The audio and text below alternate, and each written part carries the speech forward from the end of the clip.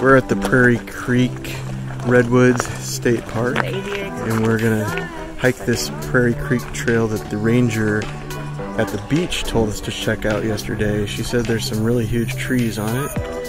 So we'll see what they have here.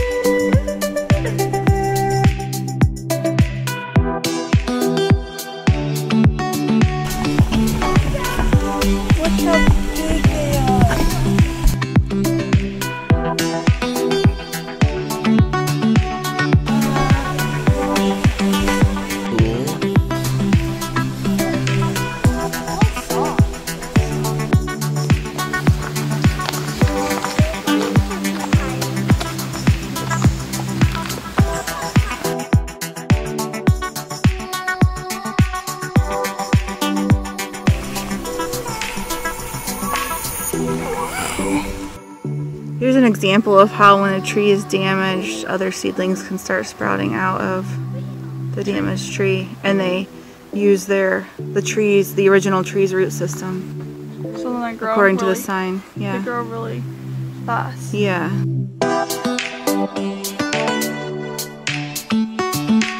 It's like a burl, except the tree it's attached to is no longer here.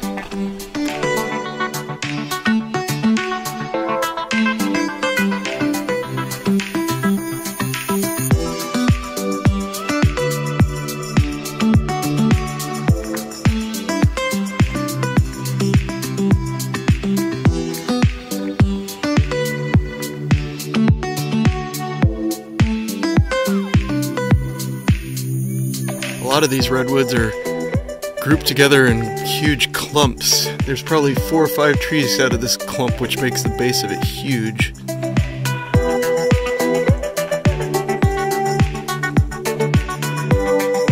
This is the root ball of some overturned redwood tree, and since it's been here, there's now bushes and other kinds of trees growing out of the end of it. It's kind of interesting.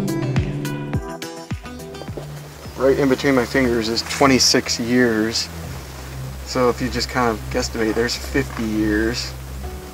So 100 years. You know, 200 years. 250. I mean, this, this tree is probably 400 years old or something. 400, 500 years old. maybe. It was and it died. It could be older. Alexa likes to be exact. 110, 111, 112. So it's 200 so far. 1, 2, 83, 84, 85, Almost done. 301, 302, 303, 318, 319. This is 319 years old. 319? Mm-hmm. Cool. Older than our country. What are you guys doing? Sitting in a tree.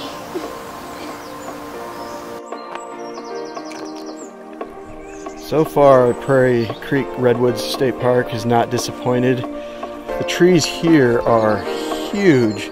I think they're quite a bit bigger than what we saw yesterday, even at the Ladybird Johnson Grove.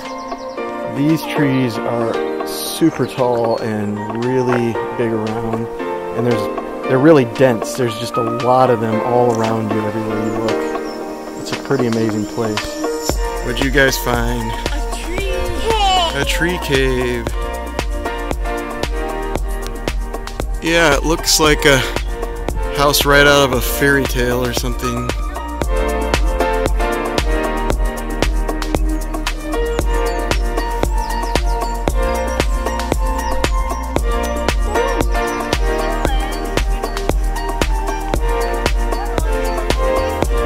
Guys find over here?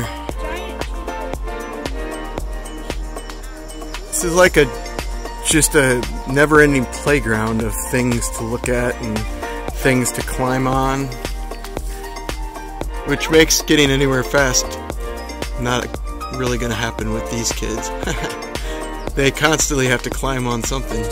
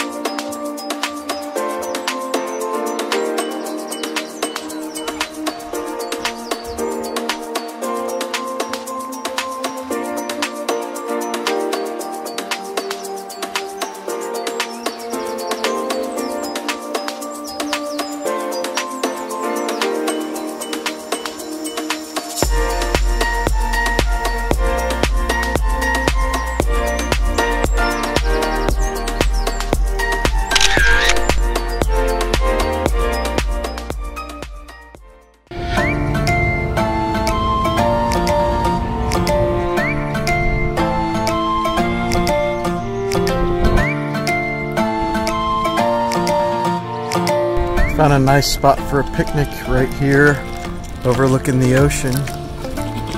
I saw sea lion. And Nolan saw a sea lion off the coast.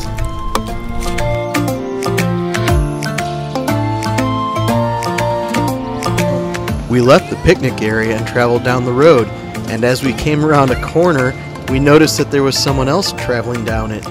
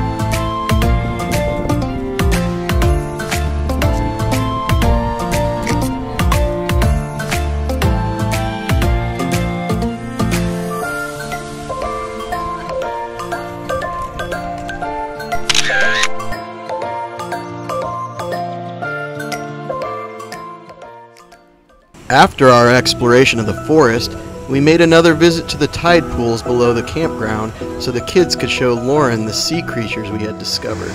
Okay. Yeah, the waves are getting big. Time to go in.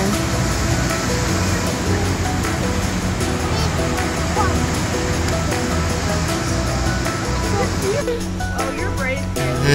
Ow, his feet hurt. His feet hurt. He's cute! They're so cute. You know that little Okay, I should probably put him down. Yeah.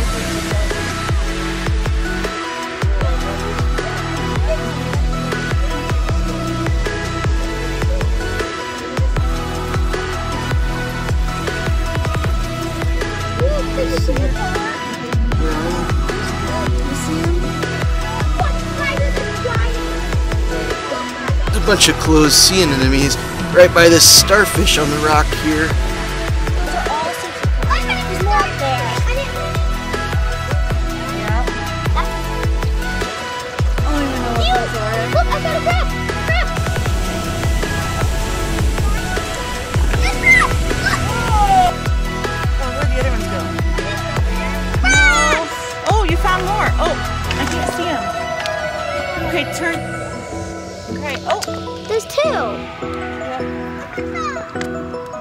Oh no, I don't want to hurt. I touched it. It's cool. Whoa. Oh, that was just. Hi, little guy. How are you? Angry, probably. The waves are coming in. The waves, when you look out there, seem like they're way over our head, like they should just come in. You know? Uh huh.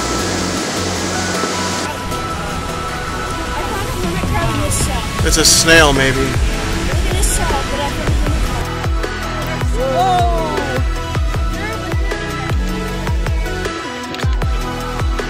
Well, this is a sea cucumber, Daddy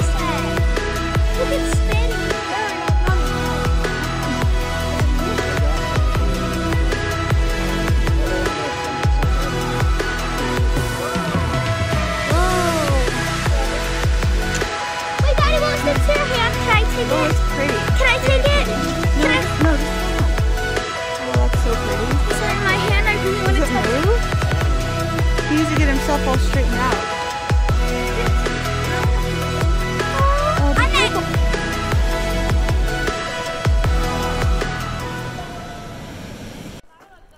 Well, we had another fun day here on the coast with the redwoods. Um, we're back at our camp now, and for one of the first times on this entire trip, we are having a campfire without any fear of setting the entire forest on fire. So it's nice to have this fire because it's also 50 degrees outside, which is kind of crazy because a lot of this trip it's been over 100. So we've had the whole whole entire gamut of weather conditions. A fog has rolled in, so the forest is kind of a interesting, uh, misty look to it. Um, we're all enjoying our hot dogs and s'mores over the fire, and hopefully we'll get a early night sleep tonight and be able to get up a little earlier than we have been tomorrow and see some of the other stuff in the area.